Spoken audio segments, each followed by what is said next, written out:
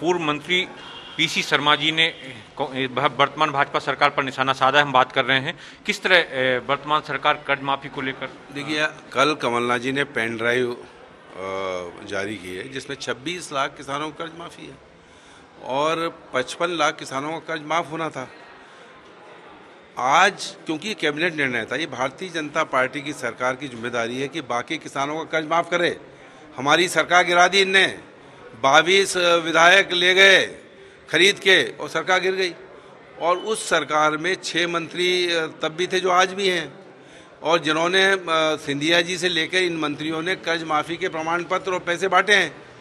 अब ज़िम्मेदारी उन छः मंत्रियों की और सिंधिया जी की है कि बाकी जो बचे हुए पचपन लाख में, उन किसानों के ऋण माफ़ी करवाएँ। ये उनका मैं समझता हूँ कि कर्तव्य है। और नहीं तो वो मध्य प्रदेश के किसानों के साथ धोखा कर रहे हैं।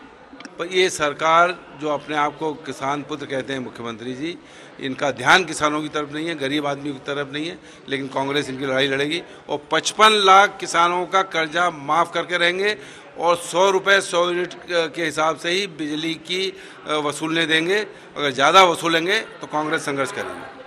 तो पूर्व मंत्री जन, पीसी शर्मा जी का साफ़ साफ़ कहना है कि जिस तरह से सरकार ने भाजपा सरकार ने कांग्रेस पर निशाना साधा था कि किसानों का कर्ज माफ़ नहीं हुआ है। उसका एक प्रमाण है सामने। उसकी एक पेन ड्राइव जारी की है कांग्रेस ने।